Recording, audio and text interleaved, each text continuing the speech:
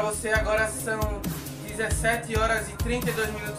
Estamos aqui agora no programa Eleições TV Jornal 2018. Agora para divulgar a boca de urna de governador, de os candidatos a senadores aqui do estado de Pernambuco, começando por Humberto Costa, que está com 13, com 25,69% dos votos, ele que é do PT.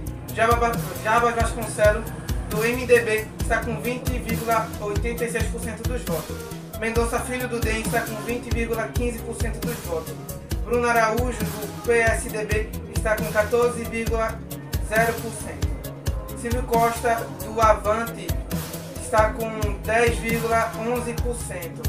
Pastor Jairinho, do, da Rede, está com 2,31% dos votos. Daqui a pouco nós estamos ao vivo aqui no canal Jornalismo Leite para divulgar os números da presidência daqui Brasil e também os números de, dos candidatos a governadores aqui do estado de Pernambuco.